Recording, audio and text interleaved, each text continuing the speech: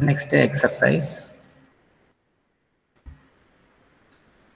A cube of 50 millimeter long edges is so placed on HP on one corner that a body diagonal is parallel to HP and perpendicular to VP.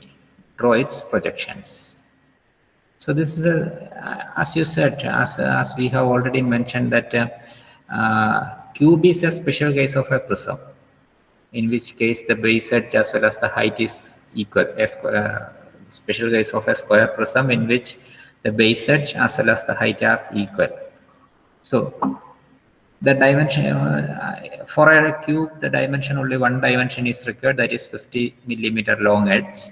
It is placed on HP on one of its corners. It has eight corners and uh, it is placed on HP on one corner such that a body diagonal which is parallel to HP and perpendicular to VP.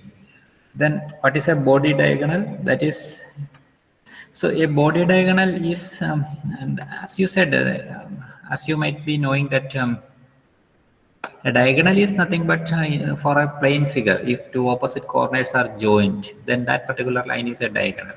But in the case of a body diagonal, uh, it is for a solid figure. It is for a solid figure and let me show it to you.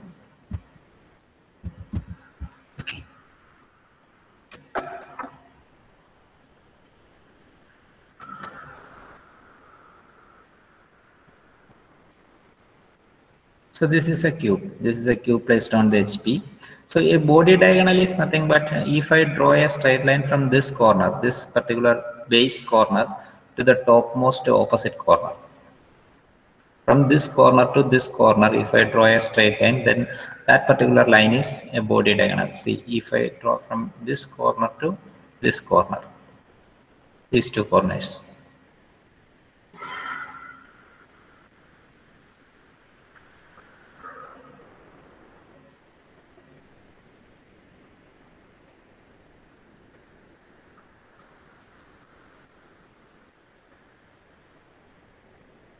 So from this corner, if I draw a straight line from this corner to this corner, that imaginary straight line is the body diagonal. So in that case, um, uh, from the base corner, one of the base corner to the opposite corner in the top face is known as the uh, the body diagonal. So that body diagonal should be parallel to the x y uh, parallel to HP and perpendicular to VP. That is the condition. So how it is being drawn? Let's see how it is being drawn. First the XY line, then the top view of the square prism. Since it uh, not square prism, actually it is a cube.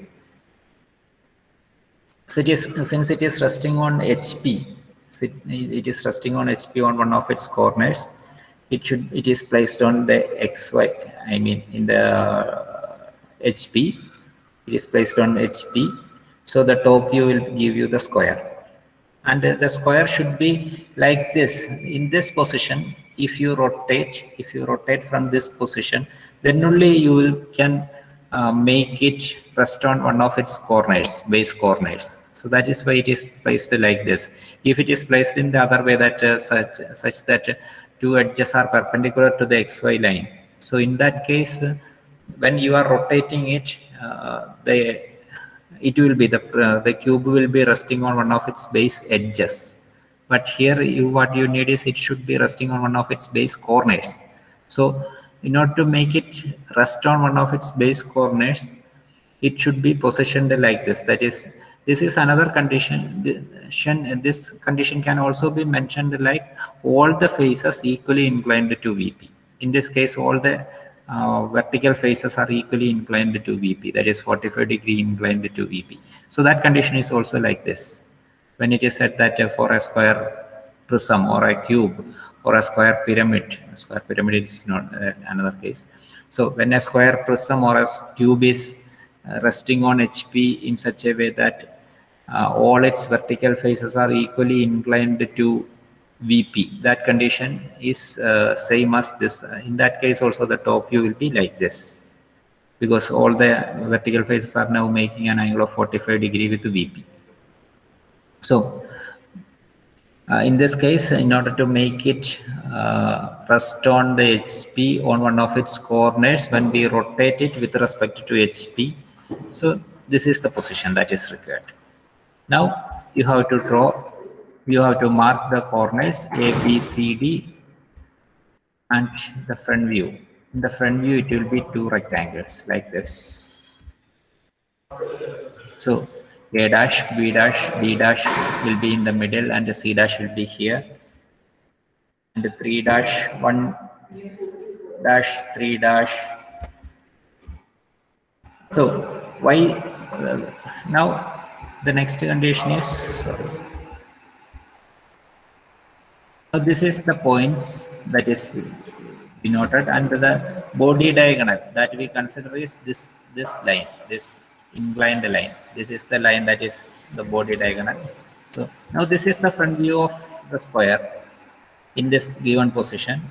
And now this line is the body diagonal in the front view. In the front view the body diagonal will be like this in this particular condition this particular body diagonal will give you the true length. The true length of the body diagonal will be like given like here. So this is the true length of the body diagonal. And, uh, true length of the body diagonal means now the body diagonal is parallel to vp that is why in the front view we are getting the true length of the body diagonal. So the true length of the body diagonal as well as uh, the true inclination with respect to VP. Sorry, with respect to HP is also given. We doesn't need the true inclination with respect to HP. So, but uh, we need the it to be parallel to uh, VP. Now it is parallel to VP. Now we mark to this 3 dash C dash is our body diagonal and 1 dash is another corner another corner just below this C dash. Below the C dash, 1 dash corner is we consider. And in this particular corner, in corner 1 dash, it will be resting. Our prism will be resting in the corner 1 dash. So now from 1 dash, we draw a perpendicular line, a line which is perpendicular to 3 dash C dash. From 1 dash, we draw a line which is perpendicular to 3 dash C dash. This should be perpendicular line and at this point we mark it as P dash. Why we need it? Because we need to make 3 dash C dash parallel to XY line. Why we need it to be parallel to XY line? Since it is that solid diagonal is parallel to HP. Since the solid diagonal is to be parallel to HP, in the second condition what we does is in the second position actually what we does is we draw the projections of the uh, cube in such a way that the solid diagonal is parallel to both HP as well as VP. Now the solid diagonal is parallel to VP. Now in the next position we will be making it parallel to HP as well as VP.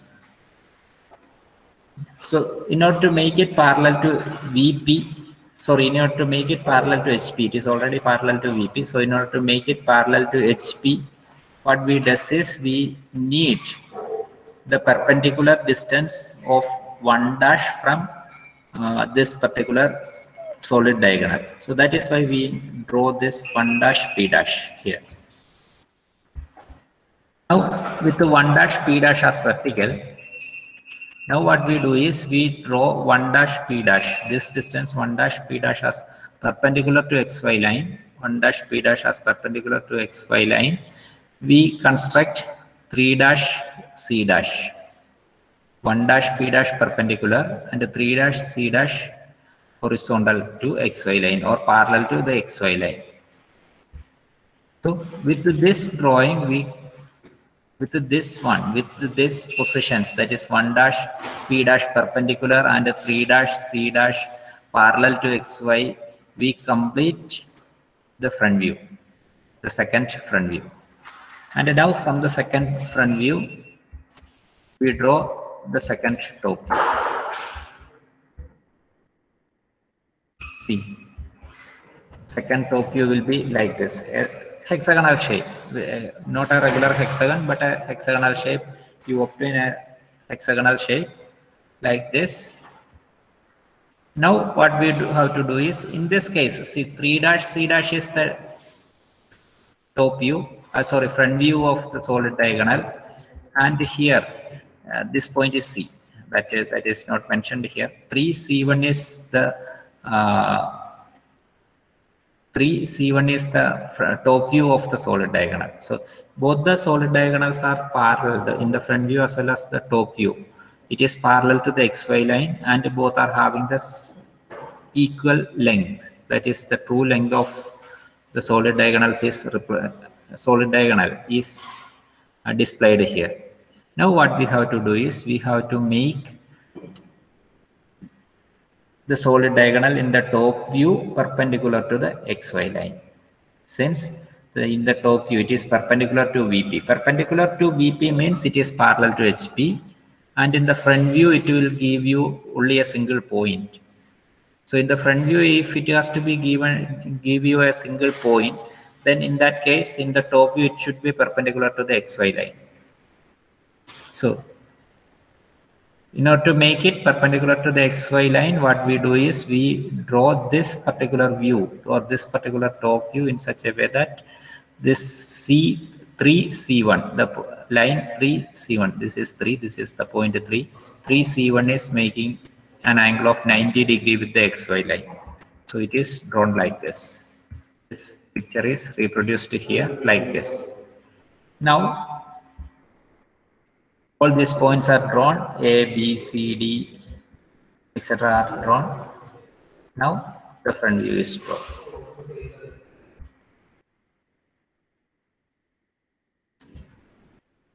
Front view will be a regular hexagon. Out of which uh, three edges are invisible. These are not chain lines. This should be uh, this uh, what you say dotted lines in this case uh, all the dotted lines should all the lines that should be dotted are given as chain lines. Actually they are not chain lines they are dotted lines. Sorry for the mistake. They should be uh, dotted lines actually. They are not chain lines. Here there is three chain li- the dotted lines that is required. And here also there are three chain and dotted lines.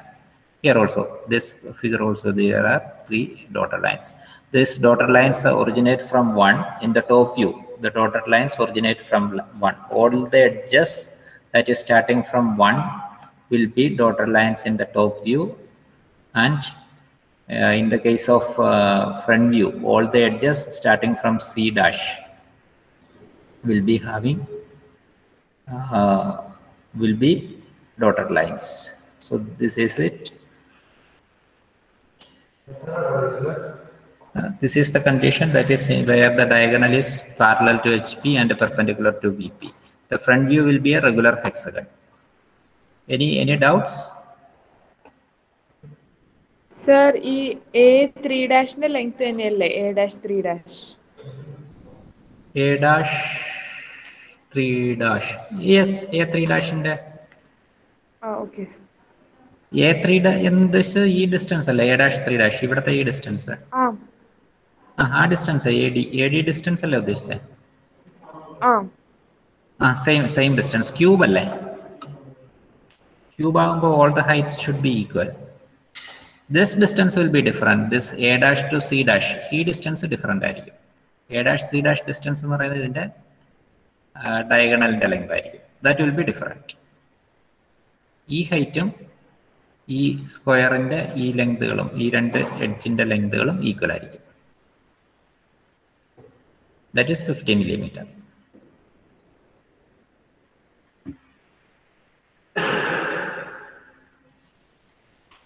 Anything? Any more doubts? Sir second figure ഒന്ന് പറയാം Second figure.